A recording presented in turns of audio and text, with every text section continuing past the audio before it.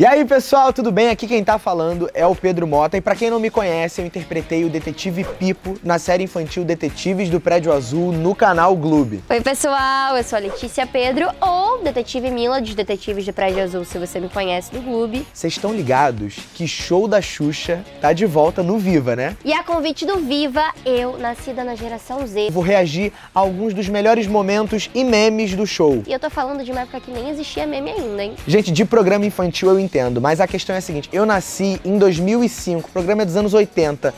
Tem uma certa distância aí, né? Pois é, eu sou mais velha que o Pedro, mas acho que isso não vai adiantar muita coisa, não. Porém, eu sou fã da Xuxa desde criança, meus pais são fã da Xuxa desde criança, a minha gata é fã da Xuxa desde sempre, todo mundo é fã da Xuxa. Missão dada é missão cumprida, então. Vamos lá? Vamos lá, tô nervoso, hein, gente?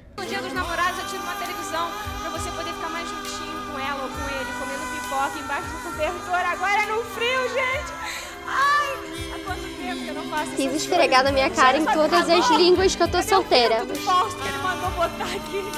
Ah, sobe música, entra o desenho. Gente! Ela era praticamente que, adolescente aqui? Quantos anos a Xuxa tinha aqui? Gente, muito novinha. É. Gente, os anos 80 eles são uma pérola, né? A Xuxa é realmente a última romântica aqui, falando do Dia dos Namorados. Gata, pra minha amiga Soleil.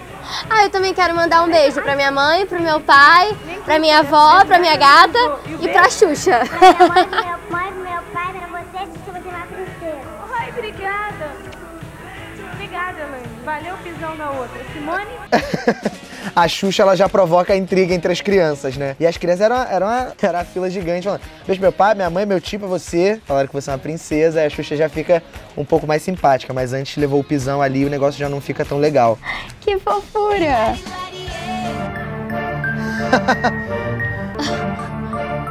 As Paquitas! Gente, o sonho da vida da minha mãe era ser Paquita. Eu sei porque ela já falou isso 300 milhões de vezes, sabe? Eu já aprendi coreografia de Paquita pra dançar em casa com ela em momentos livres, porque ela fazia isso quando eu era criança. E tá tudo bem. Acho que todo mundo devia sonhar em ser Paquita da Xuxa. Ser humano, boneco de pão, os caras de, de sunga aí me quebra.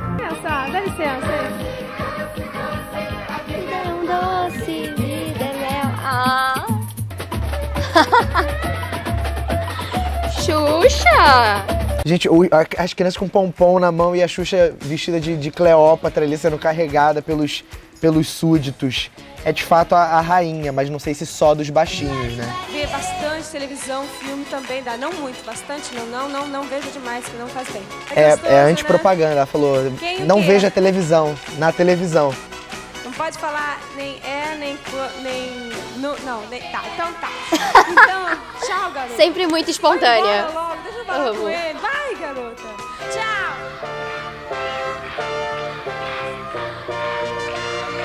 Ela fazendo assim, ó, depois, já sabe, você, vou- o louco é isso, né, gente? Programa ao vivo tem, tem dessas. Gente, vai, vai embora logo, né? Que, que eu quero falar com eles aqui. Vai embora, tchau.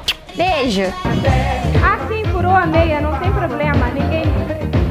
Ninguém. Aí aparece só o dedão. Se a Xuxa tem a meia furada, quem sou eu, não é mesmo? Os caras tentando dar um close no pé dela, né?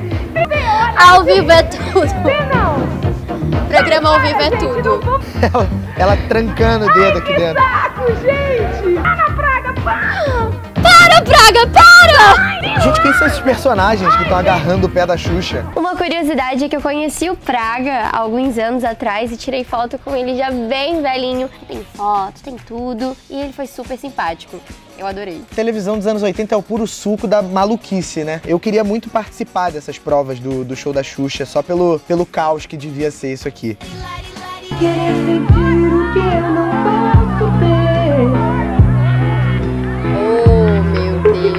Moleque, estão pintando o rosto da Xuxa. Ai, gente. Ela claramente não tá gostando de ser. O que, que caiu em cima dela? Torta na cara, não. Nesse caso é torta no corpo mesmo, mas tudo certo. Cara, tá geladão. Cara, tá geladão. A Xuxa é cariocona também, né? Na real, a Xuxa é farofeira como todos nós. A Xuxa, ela é gente como a gente.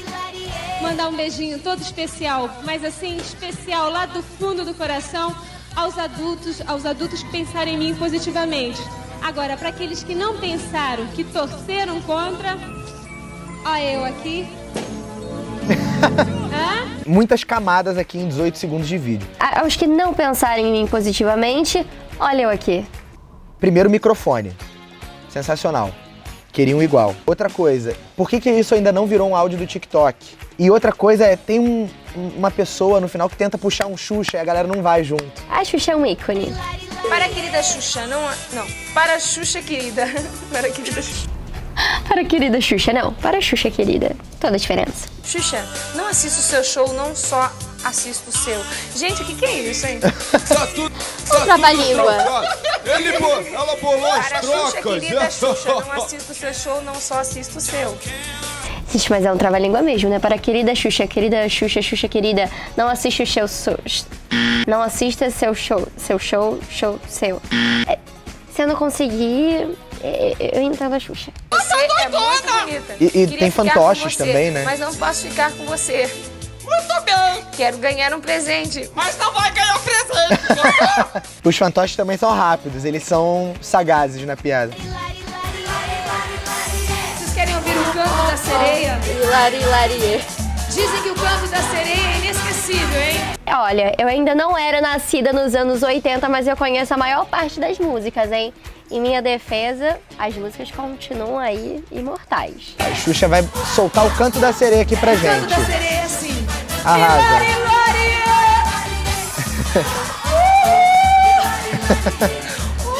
Soltou o agudo.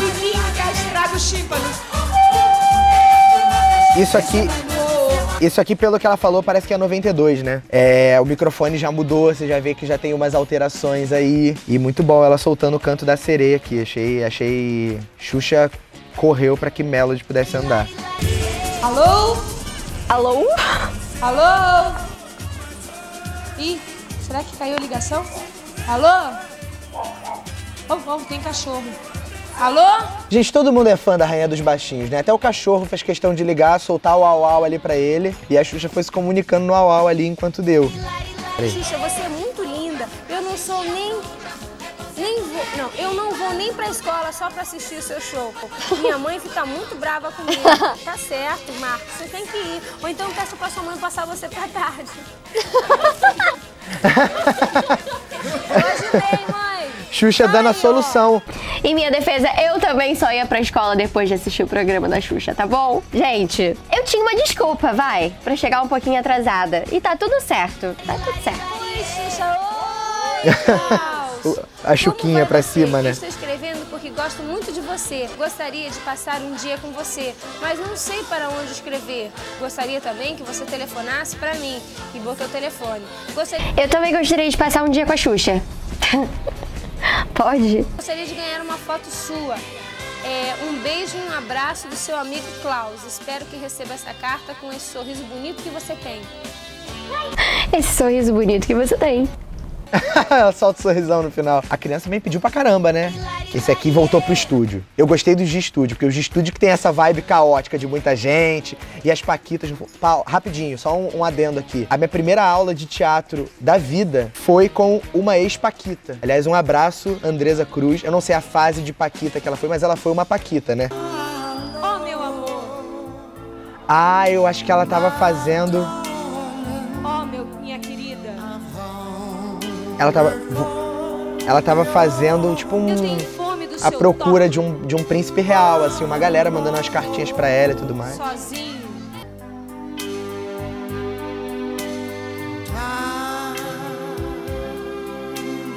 Eu não aguento com essa música. E ela aqui sentindo, né? E as paquitas na vibe aqui Mas também, com o posso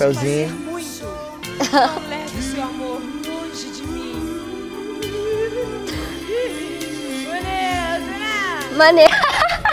Maneiro final. As paquitas, elas são um fenômeno muito louco também, assim. A gente tem que, tem que dar esse ponto pras paquitas. E acho que depois ainda tiveram paquitos também, né? Agora vamos pro último. Hoje é dia dos namorados, de todos os namorados, pequenos, grandes, Uhum. médios. E viva o amor. Só o amor constrói. Só o amor constrói. Só o amor constrói. Eu ia vir toda de preto hoje, gente, chorando? Sabe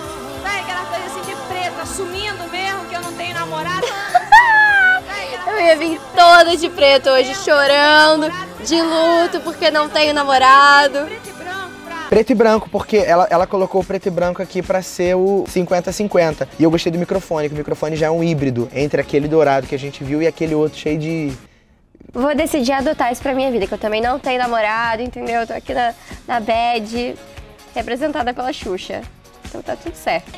Gostei, gente. Gostei de reagir. Eu acho que ela era, nossa, muito, muito, muito, muito mais espontânea, assim, né? Acho que ela trazia toda a jovialidade dela ali no programa. Deu pra entender bastante o, o clima caótico e bacana que era assistir e curtir o show da Xuxa. Eu imagino pra própria Xuxa como é que devia ser um programa diário ao vivo com 200 crianças na plateia. E eu achei muito legal porque era num parque, né? Eu, eu não conhecia isso. Eu ainda não tinha visto todo esse cenário e tudo mais. Saudade das Paquitas, inclusive. Eu sei que não é da minha época, mas o pouco que eu pude acompanhar eu adorava. E dá pra ver que cada momento ali dela foi marcado por uma coisa diferente. Eu adorei, gente. Adorei todas as brincadeiras, todos os memes. Mas a, a Xuxa ela é realmente um ícone, assim. Eu acho que todos os artistas do Brasil tinham que se inspirar. Xuxa, você é um ícone. Eu te amo. Não só eu, como o Brasil inteiro, a minha família inteira. Galera, esse foi o nosso react. Antes de encerrar aqui, eu queria muito mandar um beijo pra minha mãe, pro meu pai, Pra minha irmã, pros meus avós, pro meu papagaio, pro meu periquito, pras minhas tias,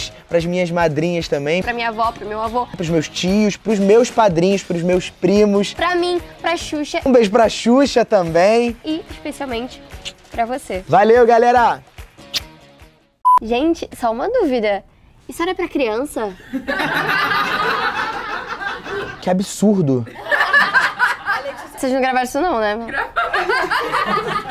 Não, isso porque vocês não botaram os piores. Xuxa, eu te amo, me perdoa.